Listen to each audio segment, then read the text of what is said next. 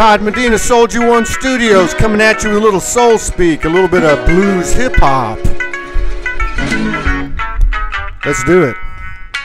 It's a natural progression in the human condition, especially as it starts to be left naked and alone. And we all come to terms with what this apocalyptic gift really is all about.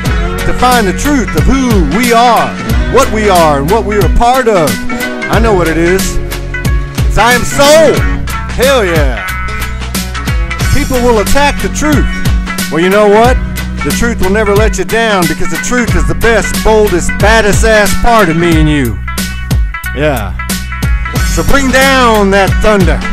This is the ascension, not some junior high drama where feelings are just mashed for an ego wanting to be engaged.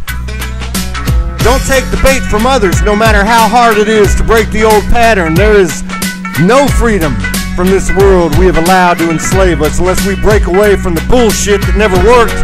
Remember, the definition of insanity is to do the same thing over and over again, expecting a different result. Oh, yeah.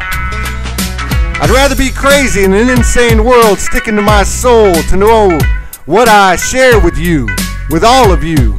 We are the glue, the paste. Chasing the soul is not a game of hide and seek, and it's not the meek that inherit the earth. That's just a story they told us so we would bow down to the rules.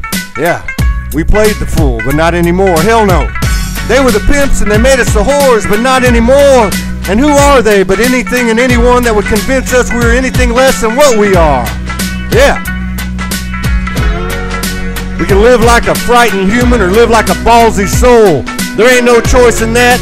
One is scared to die so much that it's scared to live and is willing to be used, abused. And the other tells death to fuck off because it ain't real.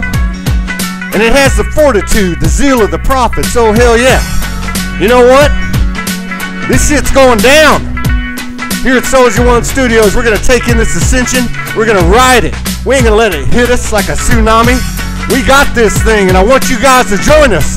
We're just doing something that's never been done before. You know what? That's what creation's all about. All right. Wishing you and yours peace, power, protection, and big ass love from Soulogy One. Namaste.